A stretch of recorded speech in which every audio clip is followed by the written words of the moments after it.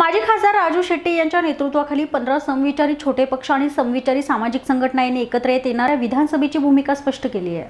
सध्या स्वाभिमानी पक्षाची आणि सगळ्याच पक्षांची एक एक लोकसभेला ज्या पद्धतीनं महाआघाडी निर्माण झालेली होती त्याच पद्धतीनं महाआघाडी निर्माण करून सगळ्यांनी एकत्रित निवडणूक लढवावी असाच आमचा प्रयत्न चालू आहे. त्याचाच एक भाग म्हणून येते एकोणतीस एकोणीस तारखेला मुंबईमध्ये नाही एकोणीस तारखे आपली वय. एकोणीस तारखेला मुंबईमध्ये डाव्यासहित सगळ्यांची एक छोट्या पक्षांची एक बैठक आम्ही बोलवलेली आहे.